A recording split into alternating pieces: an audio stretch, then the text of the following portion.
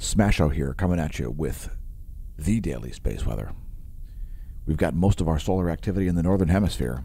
We've got kind of a high likelihood of coronal mass ejections. Likelihood of solar flares, I believe, has gone up also since yesterday. Is the sun going to destroy all of mankind? Well, in short, no. That is the last 24 hours in SDO composite. 335 plus 171 angstroms. Here's a close-up of these three massive sunspots. And really there are many more than three there. We'll talk about that a little bit later. Let's take a look at a full disk view yesterday plus today SDO continuum. Three huge umbrae there, one setting in the northwest. And a little bit of activity kicking up in between these two sunspots right here. That is sunspot group 3141, I believe it's called. There's your SDO magnetogram. And let's take a brief look at volcanoes. First, support the channel via clicks. Welcome to the Neo Renaissance. Congratulations on realizing the channel exists. Visit our links. You can find links to our alt tech sites, Facebook, Discord, Hemp Lucid, SureMed, and lots more. Check it out. If you want to support the channel, consider becoming a member of the Smash Team at smashomash.com slash smash team. We replace Patreon with our own superior website. Join at the gold or silver or annual gold up paid subscription level. There's also a bronze level. We do send out email notifications for disasters. So sign up for the email list if you like at smashomash.com. Also follow us on Twitter. Otherwise, you may not see certain things like shares of Aurora. Press like, subscribe, comment on YouTube, etc. Thanks to our YouTube subscribers for putting up with the pathetic censorship on the platform. And if you're viewing on BitChute, go over and subscribe over on YouTube. You're missing a bunch of the content. So here, let's go for volcanoes. Sheveluch continues to erupt in an explosive fashion and produce a 12,000 foot ash plume. It's a flight level 120 over Kamchatka. Suwanosejima satellite imagery not showing any volcanic ash. Don't assume it's not erupting. Popocatépetl exploding in central Mexico, producing a flight level 190. It's a 19,000 foot ash plume. Fuego in Guatemala exploding, 17,000 foot ash plume. Sangay in Ecuador exploding, 20,000 foot ash plume. Sabancaya in Peru also producing a flight level 250 as it explodes. It's a 25,000 foot plume of volcanic ash. Please don't pole vault the caldera. Next, looking at seismic activity. Seeing a bit of a 7 magnitude earthquake drought beginning to occur here. And no major quakes over the past 24 hours barely even making it into the 5 magnitude range. Although we have seen some quakes in California, keep in mind, folks, California is indeed overdue for a large earthquake, as one of our viewers cited yesterday, and any earthquake can be a foreshock. There's the largest quake of the past 24, I believe, a 5.2 at Vanuatu.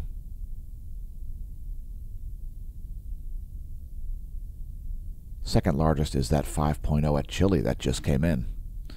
Getting back to space,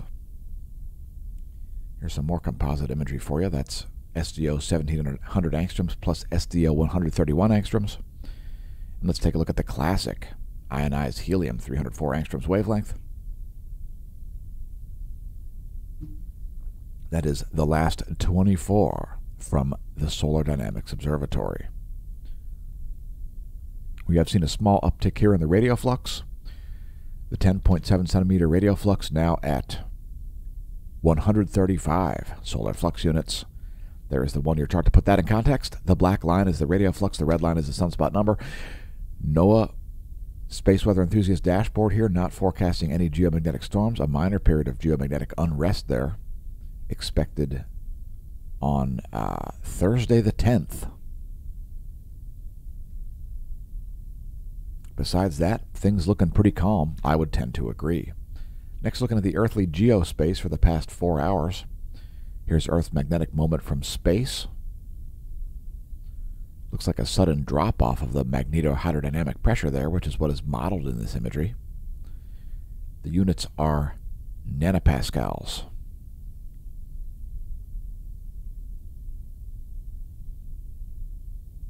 Looks like a bit of a drop off of the solar wind must have just occurred.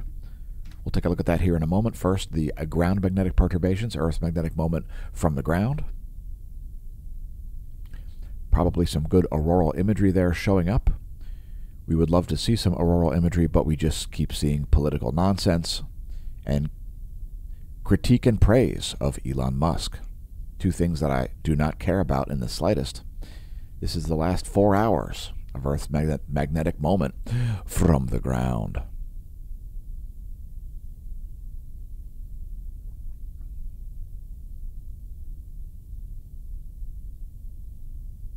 Moving on to the planetary K index, and we're almost at geomagnetic unrest conditions.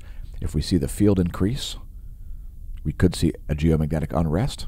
Current conditions are KP 3.67. The planetary K index is a measurement of global geomagnetism for all of you new viewers out there. And here's a real time solar wind. Just subsiding here over the past 24 hours, it looks like. Solar wind density below 1 proton per cubic centimeter there at least as reported by the ACE. Solar wind speed dropping below 400 kilometers per second here, now at 372 kilometers per second. And let's move on. GOES magnetometers there, looking a little spiky. You can expect to see that smooth out over the coming 24 hours. Again, the coronal hole high speed stream has subsided. Earth resides in a South Pole current sheet shown here in red. And the great the great thing about the top view ecliptic plane field plot is that it is one of the the best predictive data sets that we have.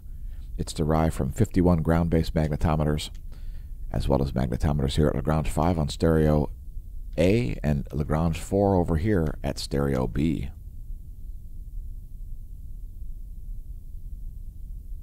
Here's our solar line of sight plot showing the solar magnetogram solar B field in blue Solar polar fields in red for south, green for north. Which brings us to the coronal hole segment. What evil lurks in the depths of coronal holes? Well, solar wind. High speed solar wind streams. Again, we do see one subsiding now. Those are south pole oriented coronal holes primarily in the Earth facing zone. And here's a view from SDO in 211 angstroms.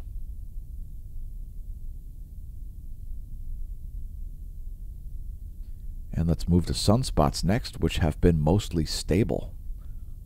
Over the past 24 hours, again, most of the activity in the northern hemisphere. Let's take a look.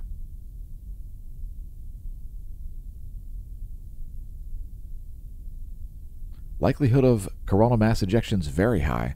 Likelihood of large solar flares kind of high, especially from sunspot 3141. There are a lot of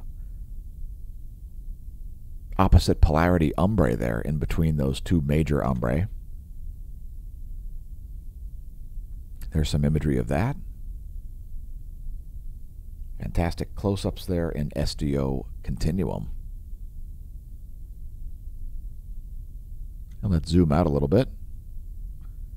There is the full disk view. We've got at least one sunspot in the southern hemisphere there. That one just formed in the past 24 hours, which is the time frame depicted. And we'll zoom back in a little bit here. That should include all the sunspot groups.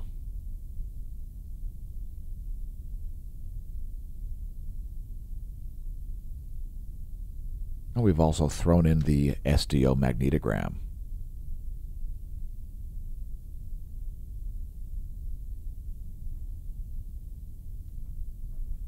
Let's move on to energetic particles and flares.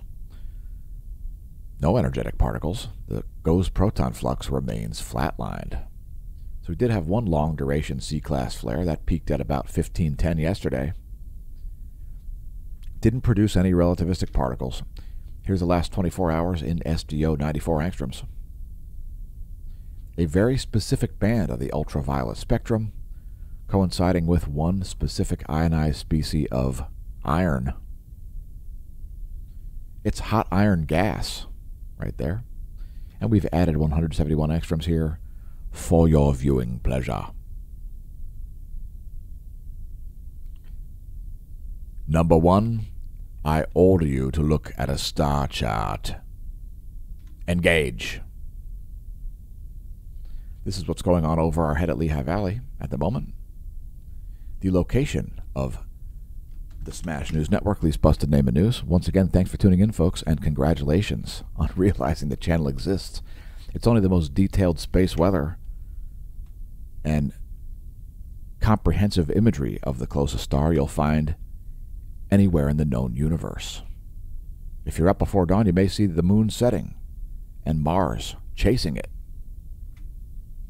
as it remains near the galactic plane, which is the blue line we've seen here in this image. Yes, there you go. And let's move to a solar system forecast. Happy full moon, by the way. Here's the one week forecast for the solar system.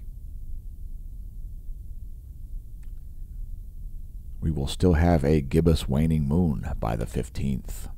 Next, looking at some coronagraphs, here is a sun diving comet. Also, Mercury showing up there in yesterday's coronagraph imagery from George Mason University. So that's yesterday, November 7th. Here is today, 17 frames. We've got a dearth of data. A dearth of data?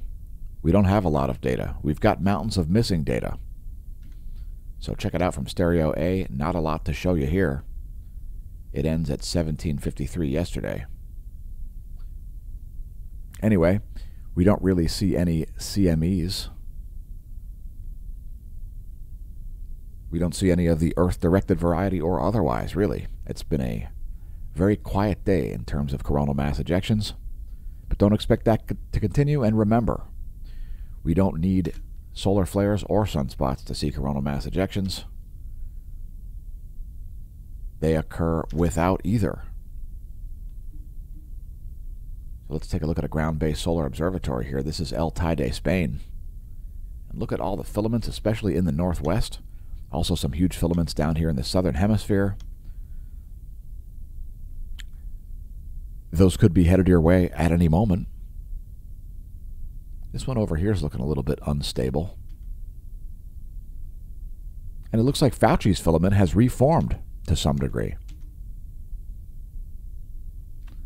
And let's continue on to show the last about two and a half hours from the GOES 16 SUVI.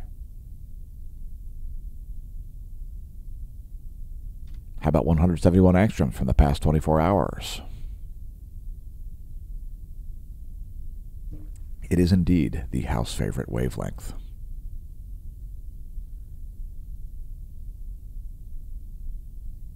And thanks again for stargazing with us. Let's continue on here to the bonus feature segment. It's the satellite's community dashboard. We have some surface charging hazards here moving into the Central Pacific. That surface charging caused by low energy electrons on the outsides of satellites and the GOES electron, the GOES electron flux here has crashed as we forecasted yesterday. You can expect this next yellow diamond to be a little bit lower here than a NOAA forecast. Otherwise, no arguments with the NOAA forecast model there for relativistic electrons. There's the one-year graph to put it in context. That is from solen.info. By the way, those electrons are measured at the F layer, they're measured at about 300 kilometers from the geosynchronous orbit of the GOES 16 and GOES 17, which orbit at about 22,500 miles of altitude. And here is the vibrational frequency of the F layer, the bridge between Earth and space. By the way, we're seeing some major electron anomalies over the U.S. We'll get to it.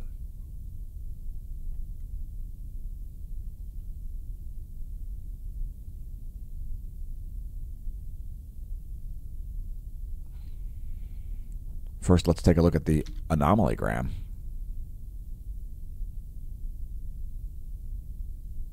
That is anomaly in megahertz from the 30-day median. We show it daily on the channel.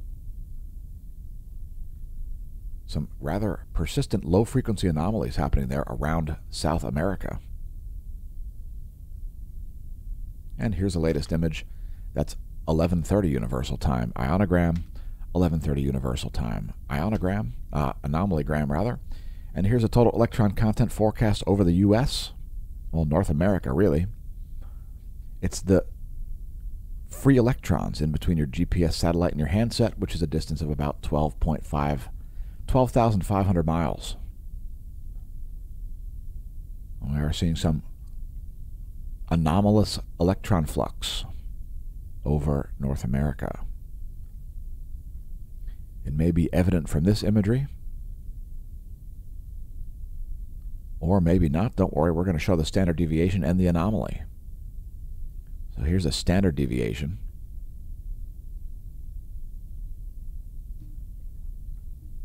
It's literally an electron count. And here is the anomaly. So some significant anomalies there over places like Mexico. We'll let that play through one more time to make note of it. Also some anomalies over places like Pennsylvania. So some huge GPS errors likely to have occurred right overhead.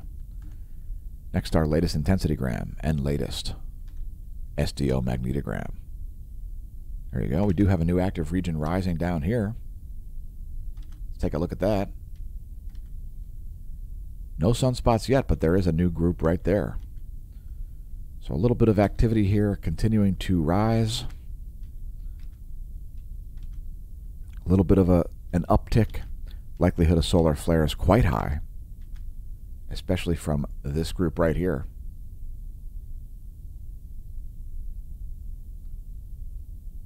And let's take a zoom in on that. See a lot of magnetic field complexity happening there. That raises the likelihood of large flares.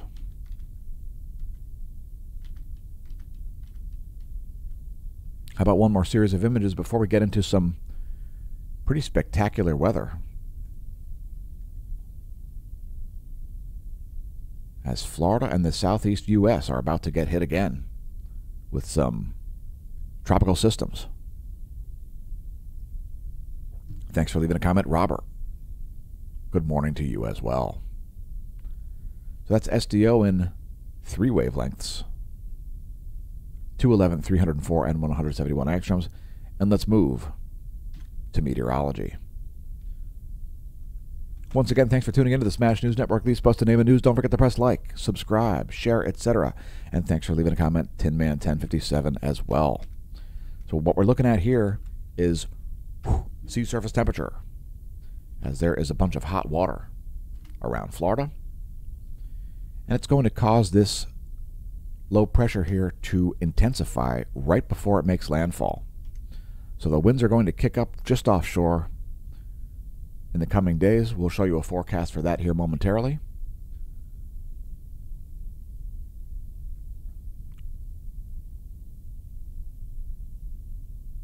Let's switch to the regularly scheduled surface winds. More windy days over southern Australia. Those are the surface winds of the eastern world. Here are the jet streams of this side of the planet. Jet streams of the western world looking like this.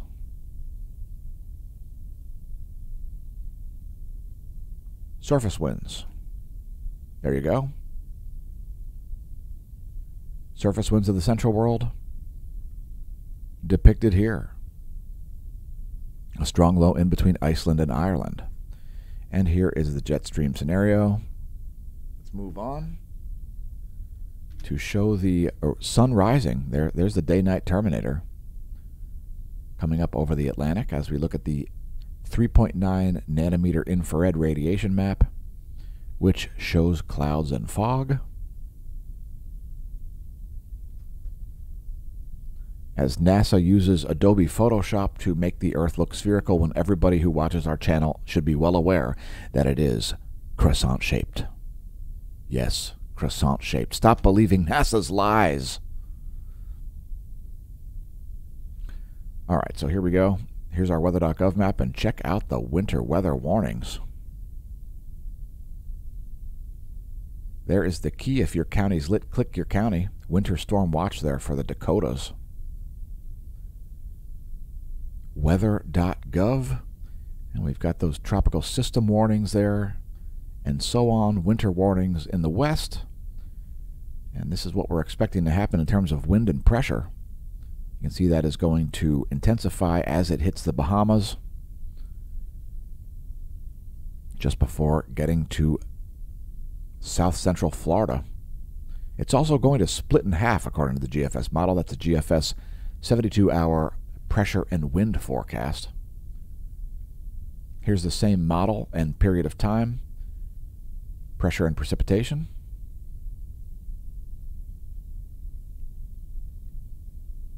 And here is the same model, GFS, 72 hours total accumulated precipitation expecting upwards of four inches in some parts of Florida and some parts of Georgia. And let's take a look at the full view of the U.S. There's your total accumulated snow depth change in inches. And expecting another, oh, I don't know, 40 inches of snow for portions of California there? Dag. That is some serious snow forecasted. and over two feet forecasted for North Dakota. And that's only on November 11th.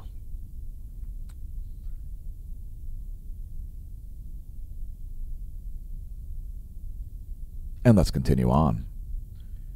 Here's a Euro model. Let's see what the Euro model has to say. Not quite as heavy of a snow forecasted by the Euro model there. So huge disparity between the GFS and European model there for snowfall in the Dakotas. We'll have to see what happens as far as California goes. Quite a bit. There must be some melting going on as there's already 50 inches of snow in parts of Washington. Here's your lightning mapper. Let's move this up a little bit to the north show a little bit more of South America, and take a look at a real-time lightning map. Do we have any terrestrial strikes? Not so much. Off the coast of San Jose, a little bit of activity.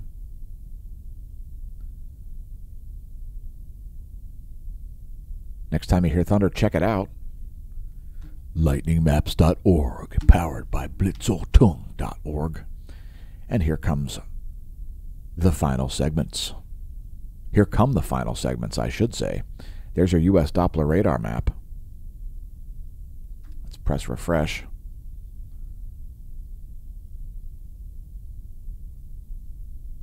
We'll focus on the lower 48.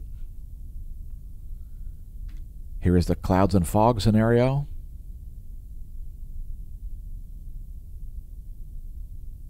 And here is the water vapor map. And here's your recap as we close out today's daily space weather. Vertical motion of water droplets, and indeed snowflakes.